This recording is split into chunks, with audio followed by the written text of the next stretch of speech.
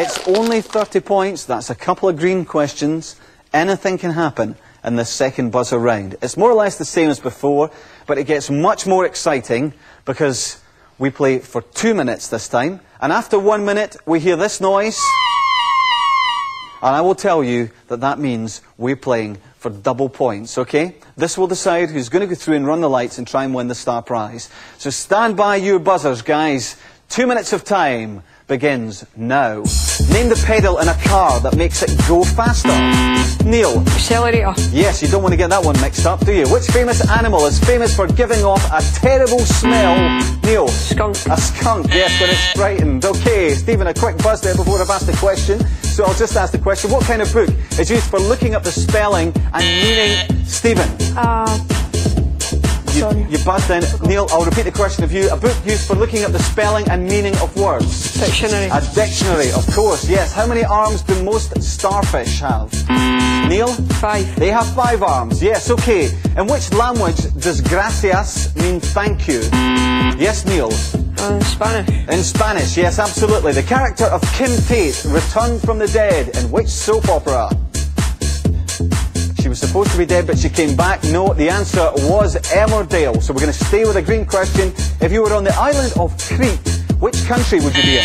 Yes, Stephen. Greece. You'd be in Greece. Well done. Okay, it's double points now, guys. Which family member is celebrated on June the 16th? Yes, Stephen. Father's Day. It is, it's your father. Well done. In which Italian city would you find the Sistine Chapel? The Sistine Chapel. Yes, Stephen? Rome. Well done. Okay, on to green. Who's the author of Christine and Misery? Christine and Misery. Any ideas? No, the answer we're looking for there is Stephen King. So we're staying with a green question. A 50 pence piece has how many edges? Yes, Stephen. Five. No, Neil, can you pick up the points? Nine. No, the answer is actually seven. So we're still on green. For a car to be roadworthy, it has to pass its. Neil, you buzzed in, I'm afraid, so I've got to give Stephen the question. Pass its MOT test. What does MOT stand for? No. No, you don't know. The answer then is Ministry of Transport. So we're going to stay on green. Which American actor was the star of the movies Waterworld and Cup? Neil. Kevin Costner. Kevin Costner, you were just in there in the nick of time. At the end of that buzzer round, I told you it was going to be exciting, didn't I? Oh my goodness, the scores are level. Both Stephen and Neil have 140 points each.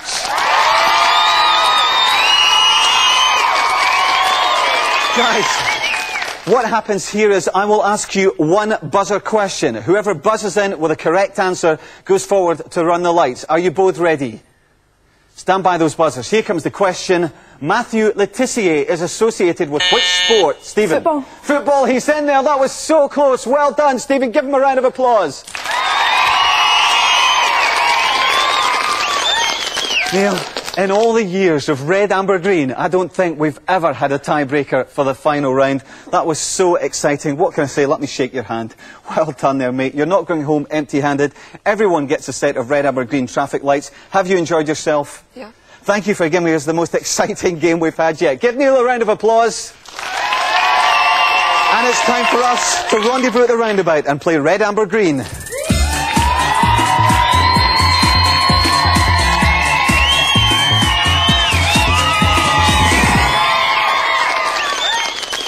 So, were you sweating there or what? eh?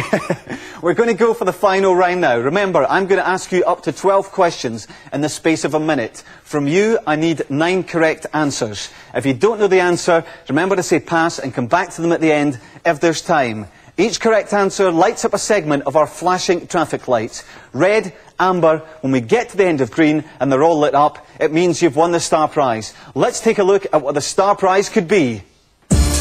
Green is for get up and go with this cool mountain bike, complete with a full range of accessories. Fantastic prize. It could be yours. I have 12 questions in front of me. Are you ready to start? Yeah. The time starts now. How many sides does a quad- quadrilateral have? Four. Yes. What's the world's highest mountain? Mount Everest. Yes. What's a bicycle made for two people called? Tandem. Yes. What's the capital of Spain? Madrid. Yes. Dot Cotton is a character in which BBC soap? Pass. Steffi Graf is from which European country? Pass. What's 50% of 700? 350. Yes. Which sign of the zodiac is represented by a crab? Scorpio. No, it's Cancer. In the Beatles song, what colour was the submarine? Yellow. Yes. The girl band Eternal has how many members? Three. Yes. Opera, opera singer Luciano Pavarotti is from which country? Pass. Who's Norma Major married to? Um, John Major. Yes. Dot Cotton is a character in which soap opera? Pass. Okay, Steffi Graf is from which European country? Germany. Yes. You've done it! You took me by surprise very quickly. Dot Cotton is in EastEnders. The other one you passed on, Pavarotti, is actually from Italy, but never mind.